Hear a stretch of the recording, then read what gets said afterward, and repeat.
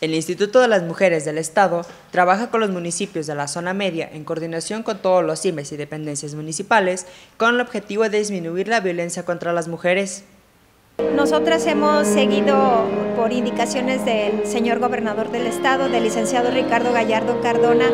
que trabajemos de la mano con todas las presidencias municipales, que las incorporemos a, este apoyo a favor de las mujeres y eso nos ha dado un resultado muy positivo. Todas las instancias han trabajado muy bien, eh, han tenido este mismo ritmo de trabajo que ha tenido el Instituto de las Mujeres. Nosotras hemos eh, reorientado el trabajo del instituto al territorio.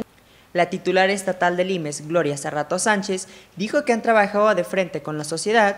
e informó que se realizaron estudios minoritarios por parte de la Comisión Nacional de la Erradicación de las Violencias, la CONAVIM, quien tras estos estudios decidió levantar la alerta de violencia que tenían tres municipios potosinos. En este esquema de las mujeres que todo lo que hacemos ayuda y abona a que a las mujeres se sientan fortalecidas, empoderadas y que si vivieran algún tipo de violencia se sientan con esa autoestima suficiente para poder ir a, denunciar algún hecho. Nosotras hemos tenido un trabajo de frente a la sociedad civil, eh, hicimos una reunión con colectivos para informarles en qué consistió este trabajo que decide, quien decide el levantamiento de la alerta es la Comisión Nacional de Erradicación de las Violencias, la CONAVIM, dependiente de la Secretaría de Gobernación, ellos hicieron un estudio pormenorizado de estos municipios, tres con alerta, incluyendo estos otros tres que no tienen, y determinaron que en San Luis existen condiciones de trabajo sostenido en favor de las mujeres.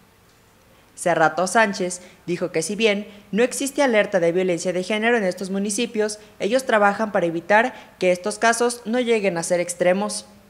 En los últimos tres años no ha habido ningún caso de violencia feminicida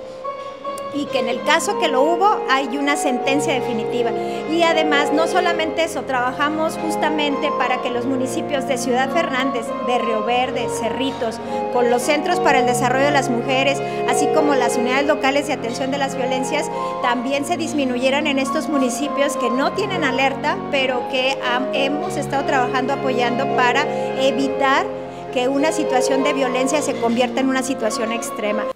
Estos trabajos en favor de las mujeres potosinas son para evitar la violencia de género y empoderarlas para que tengan el valor de acercarse a las dependencias de gobierno y denunciar cualquier tipo de violencia que estén sufriendo. Para Noticieros Cable RB, Gustavo Villegas.